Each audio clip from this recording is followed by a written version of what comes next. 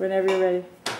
Uh, okay, so welcome everybody. Um, today we're going to be talking about something that's completely fundamental to science. We're going to be talking not about specific answers, we're going to be talking about questions. How to ask questions, how to ask the right questions, and how to go about finding answers to those questions. Um, this seems a little strange because I'm supposed to be getting answers out of you guys, but in fact, all I want you to do is ask questions right now.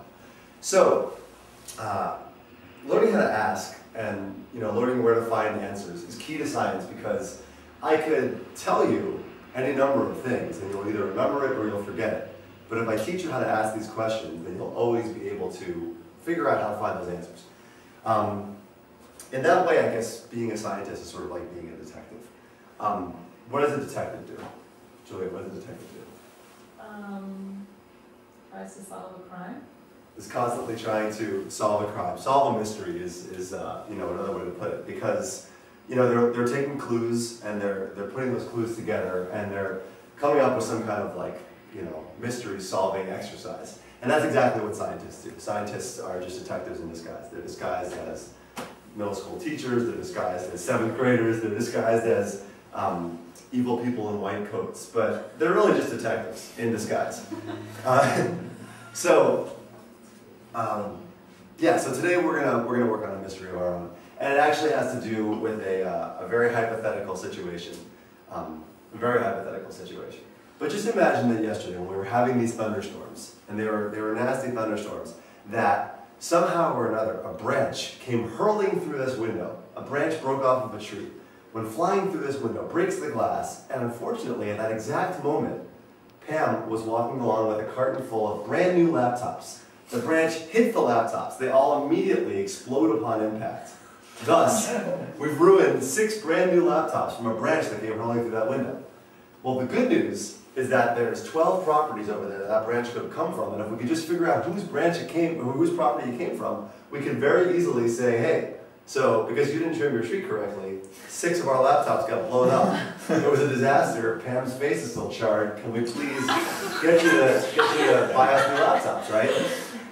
It seems pretty simple, right? All we gotta do is figure out, so this branch, you know, we've got this branch, we've got a few leaves from the branch. So which tree did it come from?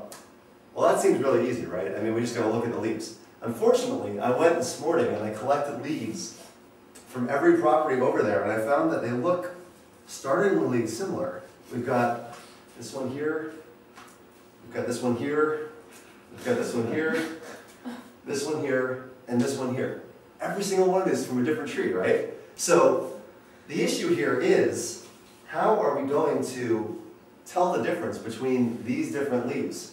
And that is where the detective work comes in. So what I want you guys to do is I'm just going to start throwing these around.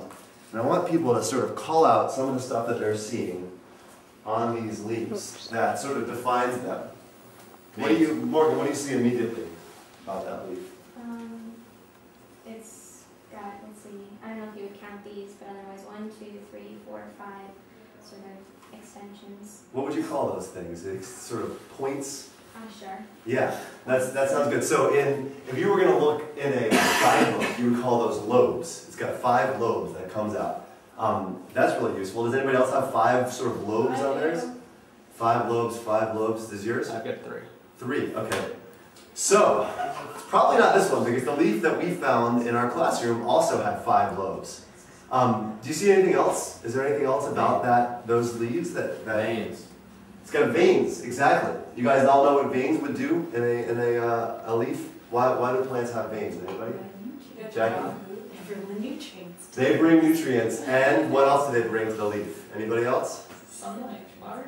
They bring water to the leaf. Sunlight, actually, uh, they don't need to bring that uh, they, they bring water, and water is actually, but we're going to learn a lot about this, but water is, is um, one of the most important parts of a plant. Um, it actually, uh, life wouldn't exist without those veins bringing water to those leaves. Um, and I, I really, I really mean that. So, anyway, so they've, they've all got veins. Now, do the veins go all the way to the end, or do they stop right before the, the lobes um, come to an end? Can you guys tell? All the way to the end. Oh, yeah. Everybody's got them all the way to the end? Okay. So, so far this isn't helping us. Now, the good news about trying to figure out which leaf this is, is that we've actually got all sorts of resources at our disposal. And one of them is something called a field guide. All right. Wait, wait, wait. No, I haven't started yet. I just- Okay. Yes, Like a squared plus b squared equals c squared? excellent, yes.